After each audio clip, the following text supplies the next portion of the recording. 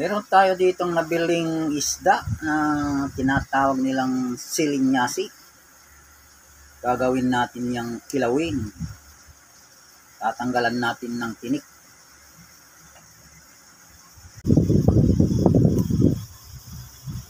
Tatanggalan natin siya ng tinik.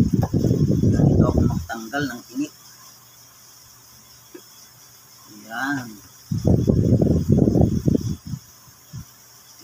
Putol yung buntot. Tapos tinatanggal ko ng ganito yung kanyang tinik. Para kang nagtanggal ng tinik ng tilis. Ayan o, oh, tanggal na o. Oh. Ayan guys. Tapos putulin na natin ng ganyan.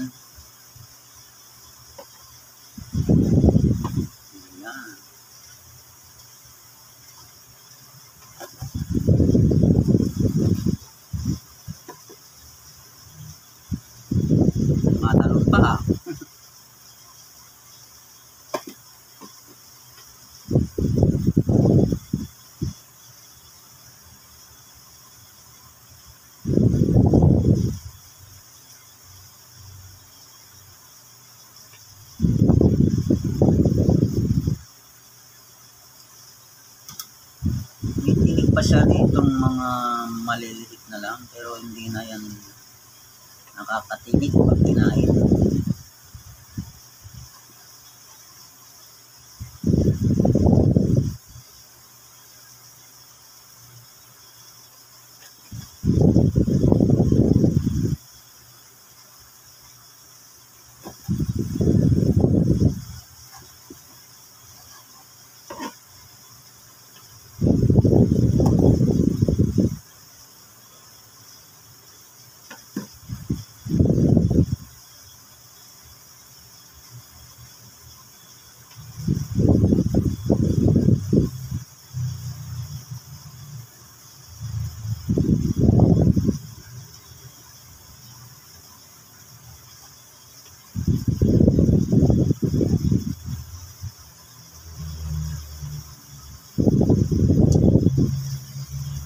Yung iba naman, linalaslas ng ganito. Ganyan.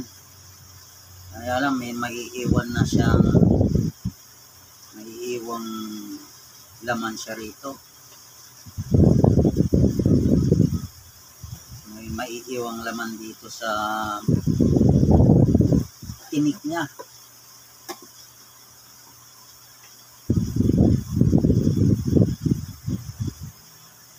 Ganito ang ginawa, oh, wala na siyang maiiwang laman.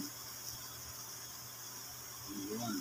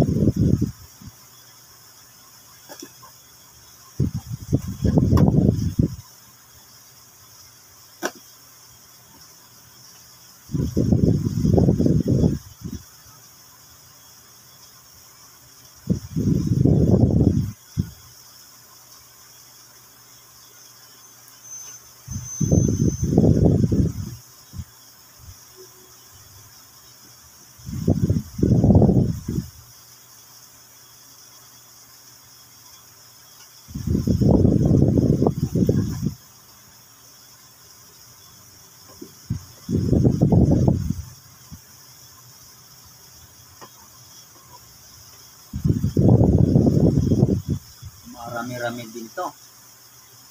Medyo matagal-tagal din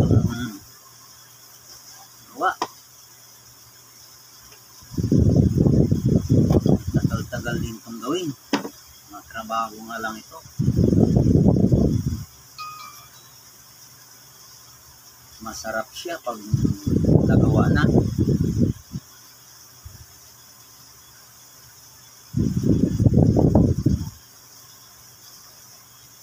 Masarap to na pangpulutan. Pwede rin ulam. Ulam na, pampulutan pa saan ka pa?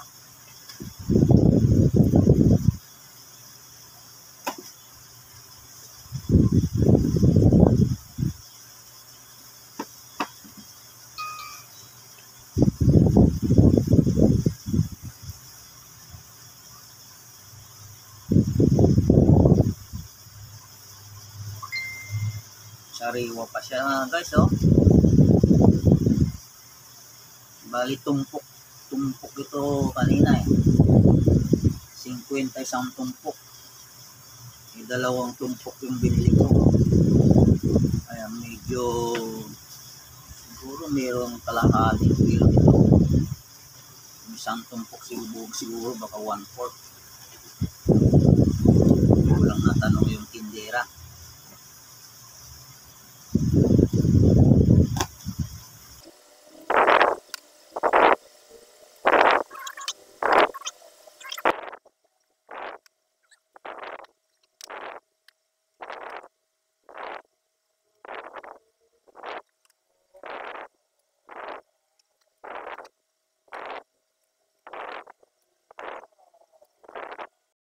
30 minutes later, Ayan, ito na po yung tinanggalan nating tinik na isda, yung selinyasi.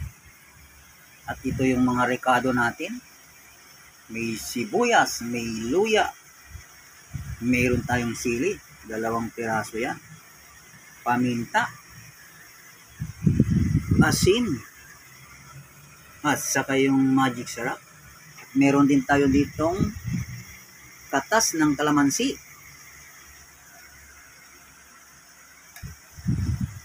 Meron din tayo ditong pipino. Lalagyan natin ng pipino niyan para medyo sumara. At saka yung suka natin. Sukang Laguna ito. Yung sukang sasa. Yung sinasabi nilang sukang sasa. So, re-rekaduhan na natin ito. So, ihalo na natin dito yung mga rekado. Ayan. Luya, yung luya. Sibuyas.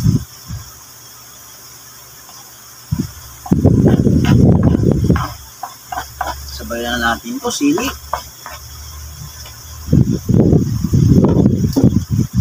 Yung paminta natin. Asin.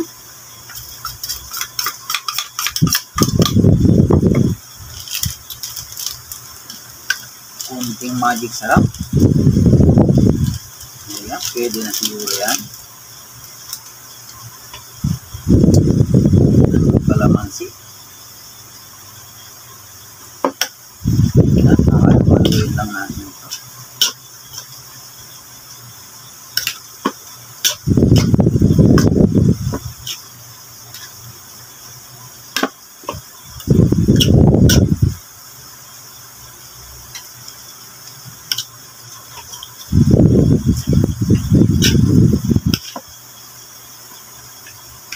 ito.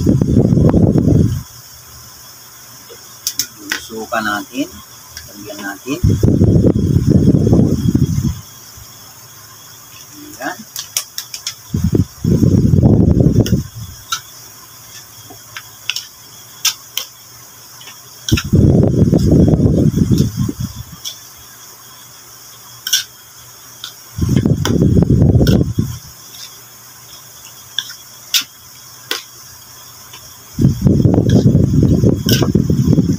Tingnan nga natin yung sabaw kung tama lang yung timpla natin.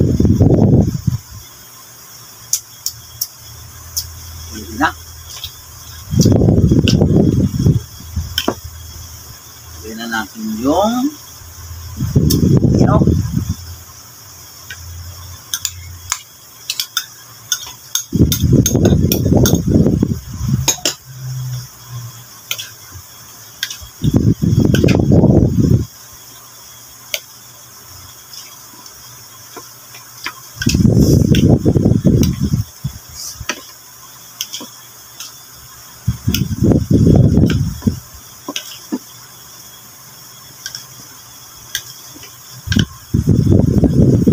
Abangan natin ng suka. Parang nakukulangan naman ng suka. Yan. Pwede na yan.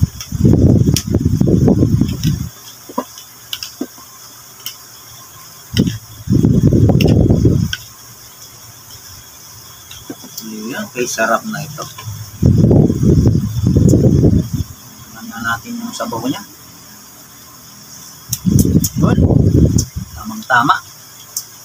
Tamang-tama lang yung timpla. Kumakagat na yung sili. Makagat yung sili. Yan.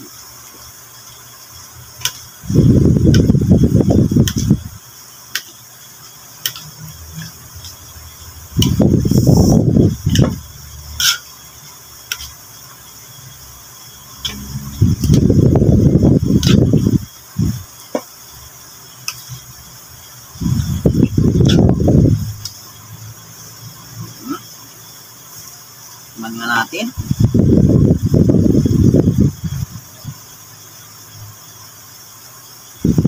Mm. Sarap.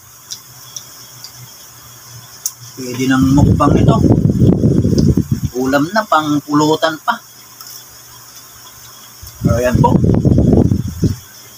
Ito na yung kilaweng isda. Silinyasi. Ulam na, pulutan pa. So hanggang sa uli po. Hanggang sa susunod na video po. Maraming salamat po sa inyong panonood. At kung napadan kayo sa ating channel, paki-subscribe po. Hit the bell button para ma-notify kayo sa susunod kong mga video. Hanggang sa muli po. Bye-bye!